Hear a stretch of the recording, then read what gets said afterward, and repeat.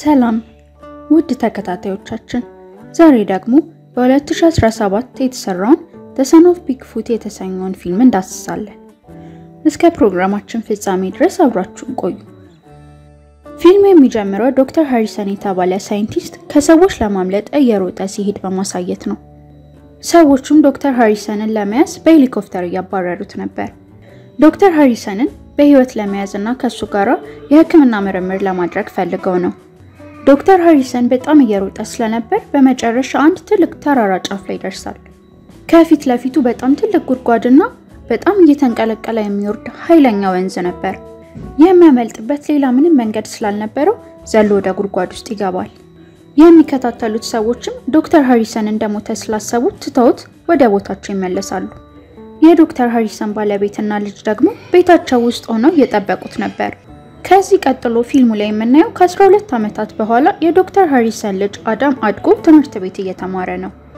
አዳም ትምህርት ቤት ውስጥ በተማሪዎች በጣም ጥቃት ይደርስበት ነበር። ቶኒ የተባለ ልጅም ማስቲካ እያኘከ ወደሱ ይወረውራል። አዳምም ፀጉሩ ላይ የተጣበቀው ማስቲካ ለማስለቀቅ ወደ መጸዳጃ ቤት ይሄዳል። በድንገትም ሳያስበው እግሮቹ በጣም ትልልቅ የሆኑና ጫማውን ይቀዱታል። አዳምም በጣም ስለደነገጠ እግሮቹን ለመሸፈን መጸዳጃ ቤት ተቀምጦ የነበረውን ሶፍት እግሩ ላይ ጠምጥሟል።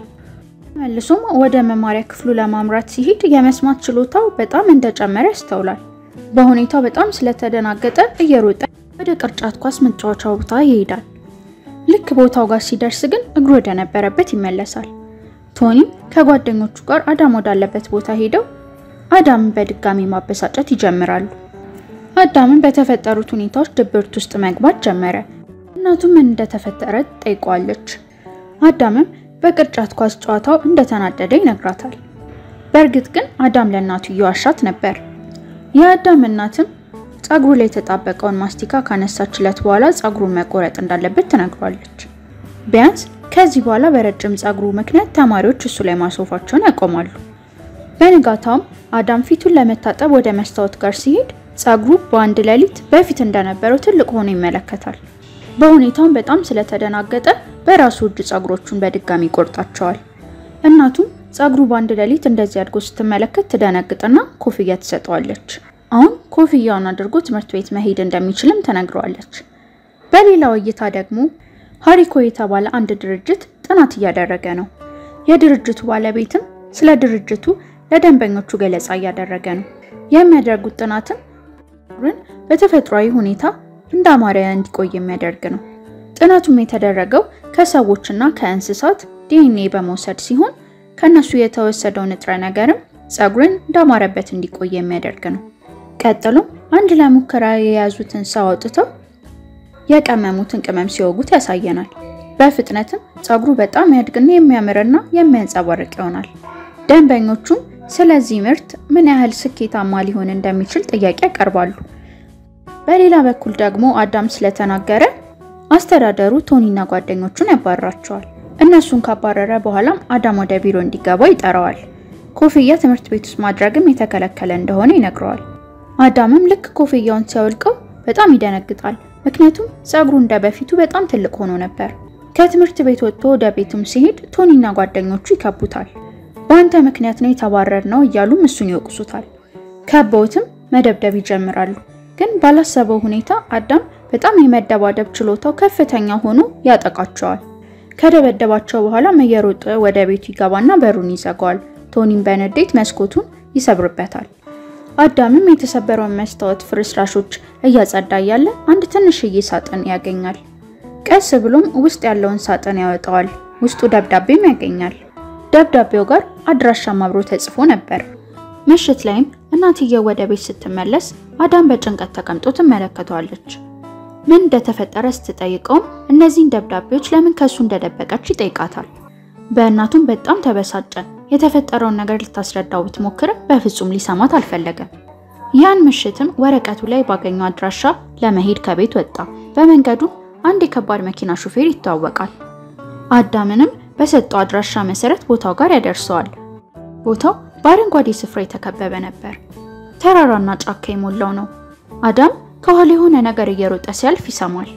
በጣም የሚያስፈራ የማጓረት ድምፅ ሲሰማ አዳም ፈርቶ እየሮጠ ሲሄድ አንድ አዳኝ ያጠመደው ወጥመድ ውስጥ ይወድቃል።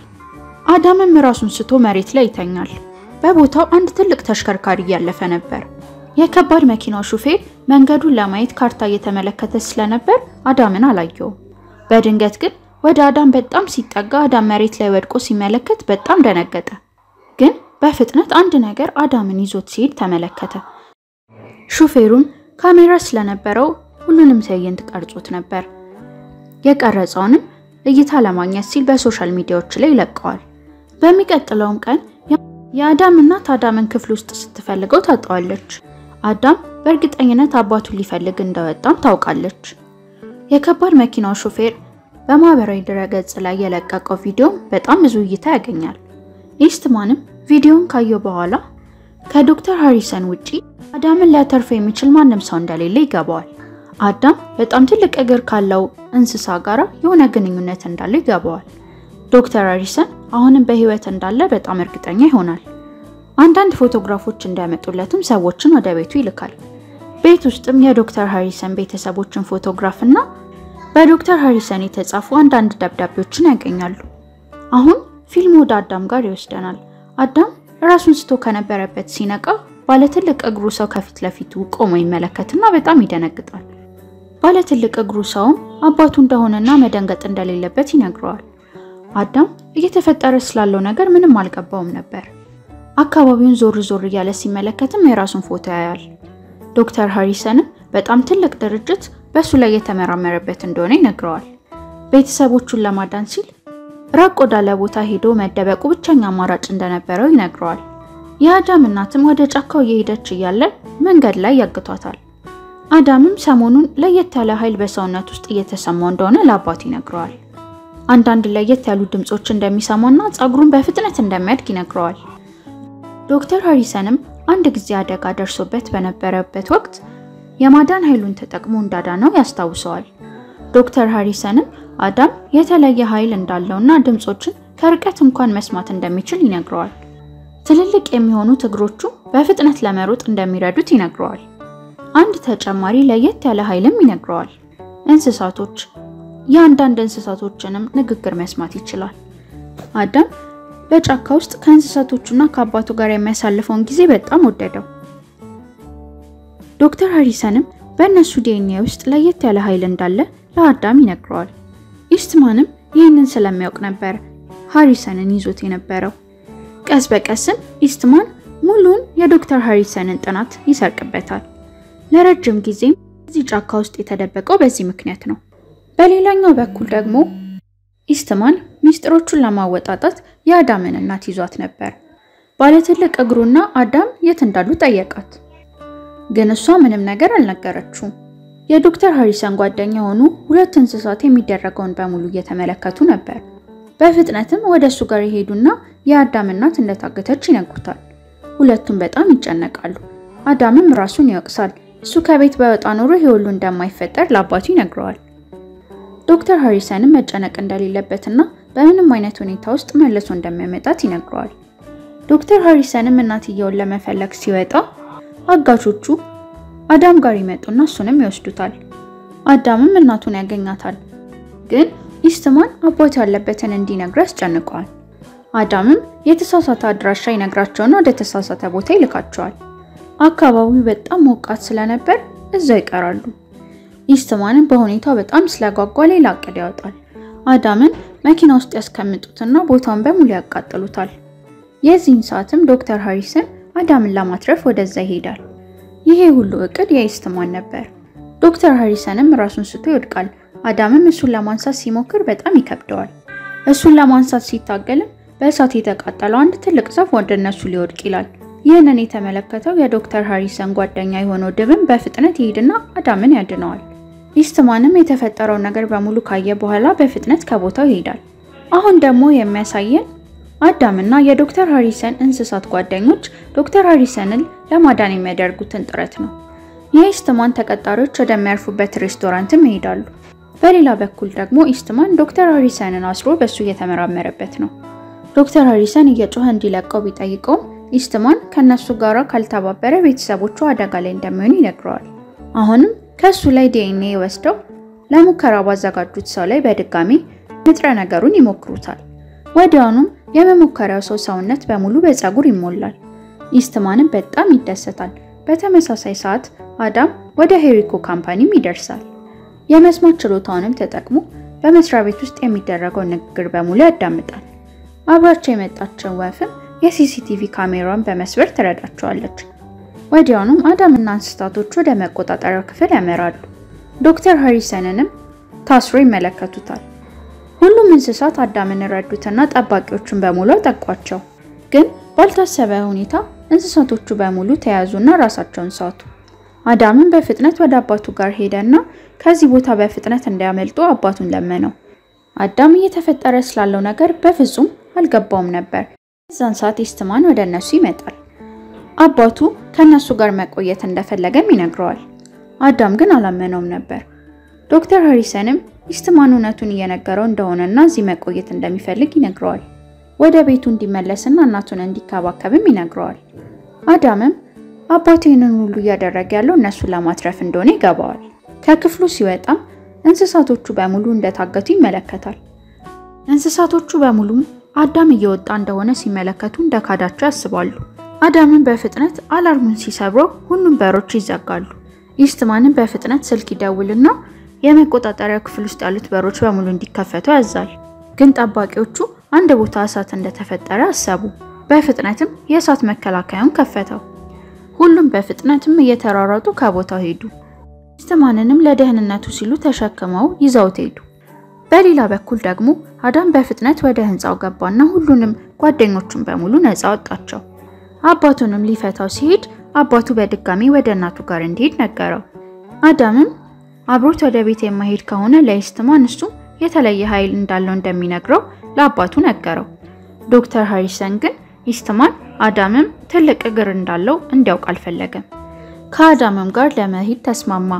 በመጀመሪያ ግን እዚህ ያሉትን መሳሪያዎች በሙሉ ማፈራረስ እንዳለባቸው ነገረው። ወዲያውኑም ውስጥ ያሉትን ማጠራቀሚያዎች በሙሉ ማፈራረስ ጀመሩ። የአዳም እናት በኢስትማን ቅጥረኛ በቤቷ ውስጥ ታግታ ነበር። አንዱ ጠባቂም ወደ መጸዳጃ ቤት ሲሄድ የአዳምን ጸጉር ቆሻሻ መጣያ ውስጥ ይመለከታል። ጸጉሮቹም የተጣሉበት ቦታ ሆነው ግን እያደጉ ነበር። የዚህን ጊዜ አዳምን ባለ ትልቅ እግር እንደሆነ ጠባቂው ይረዳል። በሌላ በኩል ደግሞ አዳምና አባቱ በቦታ የነበሩትን የተቀመሙ መድኃኒቶች በሙሉ እያፈራረሱ ነበር።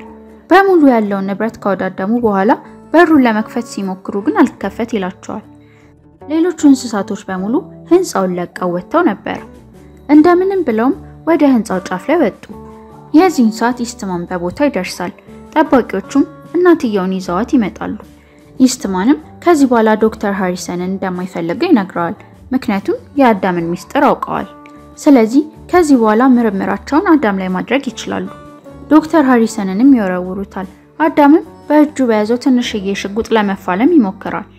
ኢስትማንም የያዘው እሳት ብቻ የሚፈጥር ሽጉጥ እንደሆነ ይነግረዋል። አዳምም ኢስትማን ይህን እንደተናገረ ሽጉጡን ይተኩሰዋል።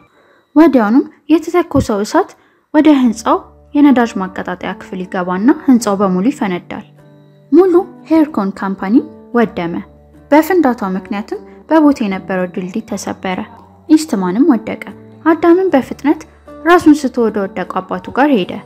በሐዘኔታም አባቱን ሲነካው ተመሳሳይ ኃይል ከሰውነት ውስጥ ወጣ። አዳምን በሰውነቱ ያለውን እምቅ ኃይል ተጠቅሞ አባቱን ለማዳን ቻለ። ወዲያውኑም ኢስትማን ሽጉጡን ይዞ ወደ እነሱ ጋር መጣ። ወዲያውኑ ግን ከኋላው አንድ ሰው መታው። የአዳም እናት ነበረች። ወዲያውኑም ኢስትማን ራሱን ስቶ ሲወድቅ የውሸት ያደረገው ጸጉር ሲወጣ መላጣ እንደሆነ ተመለከቱ። ይህንን ሁሉ ሲያደርግበት የነበረው ሚስጥርም ተገለጠ። አሁን ዶክተር ሃሪሰን ከቤተሰቦቹ ጋር በደስታ እየኖረ ነው። የጫካ ጓደኞቻቸውም አብሯቸው ናቸው።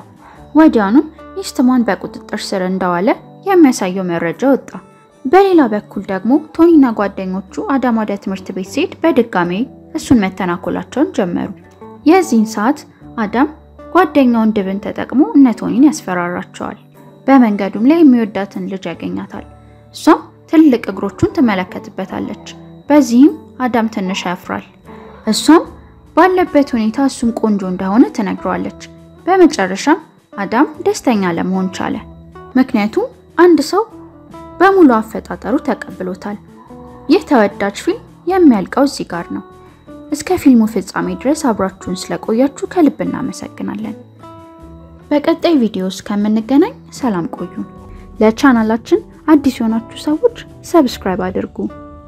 አዳዲስ ቪዲዮ ስንለቅ እንዲደርሳችሁ የደወል ምልክቷንም ተጫኑ።